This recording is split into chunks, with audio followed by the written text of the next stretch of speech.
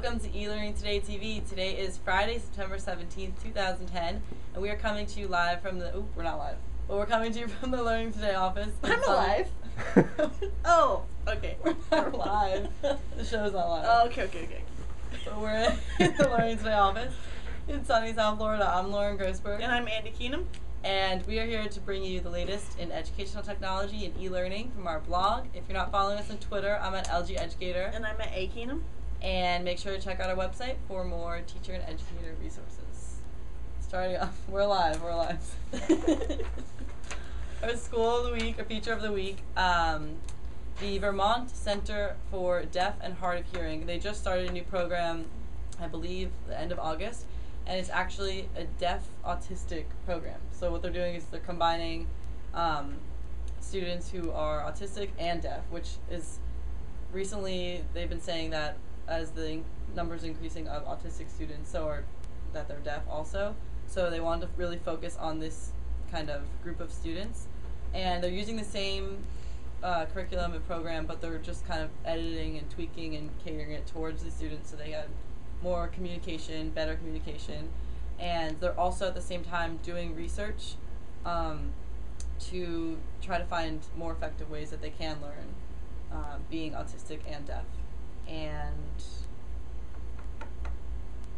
oh, it's the first in the country. That's awesome. I wonder what kind of technologies they're going to implement. I don't know, but they I think um, they're funded by a lot of grants, and they're trying to open.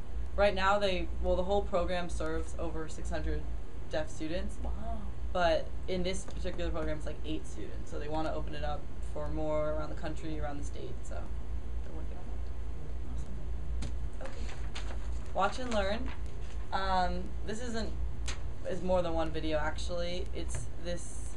I think we talked about it a while ago, but YouTube put out this channel. It's called Life in a Day, and basically what it is is they had users send in their submissions from anything they're doing pretty much during their course of a day, and they got over eighty thousand submissions from over one hundred and ninety something countries. Um, so basically, what it is, the channel's grouped. There's videos, and they're kind of grouped by geographic region and like tags That's awesome. and I think it's a really great tool. You can use it, um, to, you know, see what someone on the other side of the world is doing. You can use it in global studies, kind of um, assignments like that. And then I think you could also use it to kind of segue into like pen pals and you know doing class projects with people on the other side of the world, using all different things. Yeah, so that is a cool channel. Check it out. And I think oh I don't think I read it. Um, at the end, they're they're making a film out of it. That's the whole point of it, pretty much. So Like, like on YouTube or, or a, a video? I think it's a, uh, think it's on YouTube. Like a documentary? Oh. yeah, it's just like a big with all these people in there. So Yeah, because didn't, didn't Waiting for Superman come out? I think so because I saw it on the news. Yeah, I saw something about it. We, Yeah. we're, we'll, we'll have to talk about that next week because it's interesting. Yeah. Anyway, side note, teach this this week. I'm talking about homework um, tips for parents and teachers. Um, this is sort of the time for teachers where they're getting ready for open, open. I almost said open mic night. no, They could uh, be. maybe open house and meet the teacher night. And uh, one of the biggest questions that I got was always about homework. How much homework? How often? How can I help? In some ways, um, some of my parents were maybe a little bit too involved. Some a little bit um, less involved. So here's some tips that you can give your your parents and guardians um, about homework. Number one. Establish a routine and schedule. This requires um, parents to really set a time and place for homework and stick to that schedule. Um, limit distractions, whether it be the television, noise distractions, um, and also try not to have your kids start it too late in the evening. Um, there's just too many distractions. So, number one, establish a routine and schedules. Uh, tip number two, let go and let learn.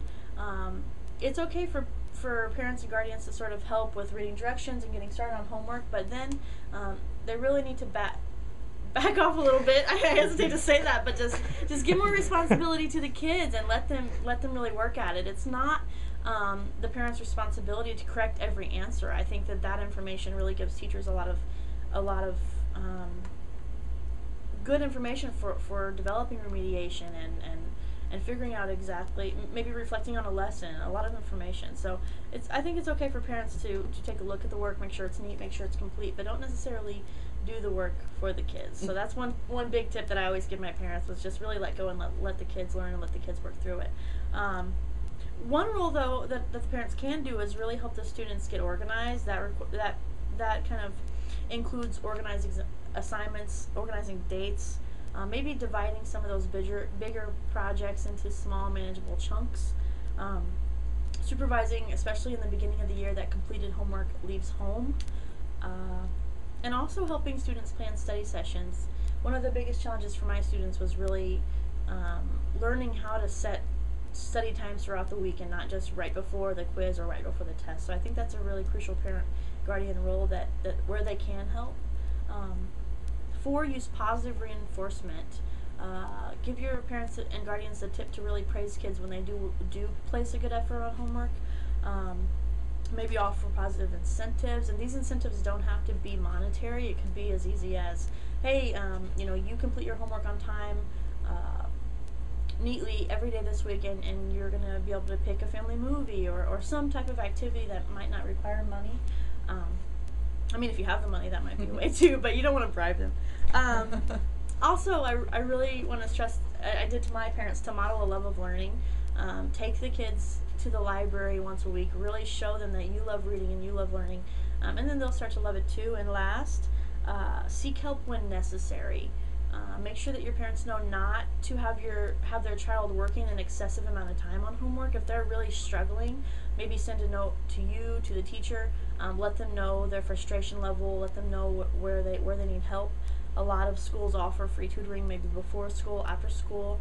Um, there there there are different kids in the class that might be willing to help tutor so let them let them know that um, it's really a good idea for the kids to also set up a study buddy that way if they need clarification or maybe they were absent or something like that they can they can have somebody to call so establish a routine and schedule let go and let learn help the students stay organized use positive reinforcement and seek help when necessary so those are the five tips for parents and students and teachers and students Very cool. Okay, eat freebies. There are more grants that are available this week that we want to talk about. I'm just going to quickly go over them. There's about one, two, three, four. There's six that I, I wrote about in the blog. Um, the first one is the Ezra Jack Keats Foundation, and pretty much it's dedicated to the author. Um, all a lot of his royalties are used to benefit the foundation, and they're used pretty much for writing and reading-based kind of programs that want to get started. Um, the Captain Planet Foundation grants, yes, like the Nice. show Captain Planet. I love Captain Planet.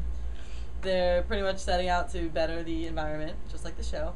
And uh, their grants go towards more hands-on interaction, problem-solving, environment like um, projects.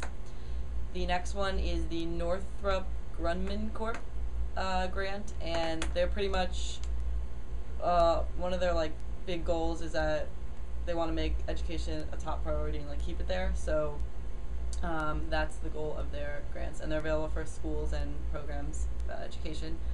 Um, Verizon Foundation grants. This one's actually ongoing, and they're just continually giving back to schools. If anything from cash grants to training, and there's tools on the website, and there's volunteers, and there's a lot of information there.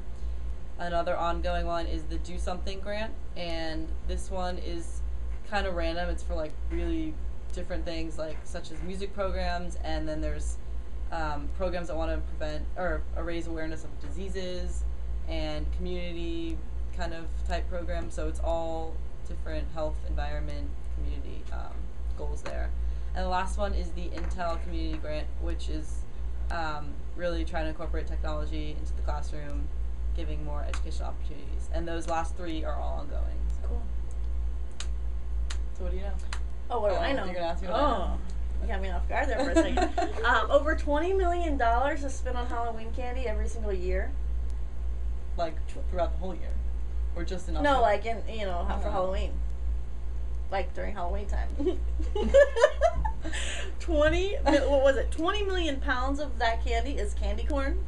I love candy corn. I know, and uh, the top selling candy corn, it's like box or something like that. yeah. If you were to take the all the candy corn that's sold at Halloween in one year and place it like line it up, it would travel around the Earth four and a quarter times. That's crazy. What do you know? I know that the uh, record for the world's tallest dog is three feet seven inches, and that is uh, a Great Dane named Giant George, who sleeps in his own queen size bed. Nice. You know how like how much he weighs? Yes, I do actually. Two hundred and forty-five pounds. Jeez. Little fella. That's like three feet, something like that tall. That's crazy. Um, if you like our show, give us five stars on iTunes and don't forget to follow us on Twitter. See you later.